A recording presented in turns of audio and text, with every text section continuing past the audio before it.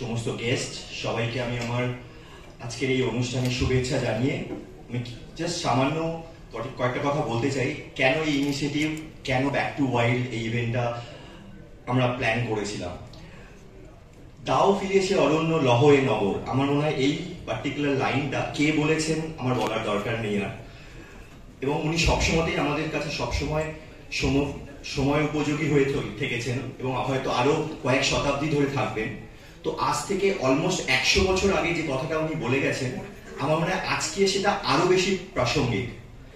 Post Covid সিচুয়েশনে বা Covid pre Covid সিচুয়েশনে বা at the time of COVID আমরা সবাই রিয়েলাইজ করেছি যে what it happens if we actually torture the nature আমি জানি না এখানে কতজন চার্নোবিলের ব্যাপারে জানেন। চার্নোবিল হয়েছিল আজ থেকে পঁচিশ বছরেরও বেশি আগে। কিন্তু সেখানে আজকে আবার নেচার বাউন্স ব্যাক করেছে।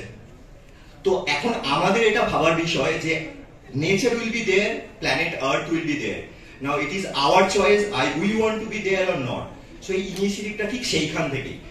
আজকে আমরা হয়তো সেই স- দাও সে মানে লহয়ে নগর দাও ফিরে সে অরণ্য হয়তো আমরা পুরোপুরি বলতে পারি না।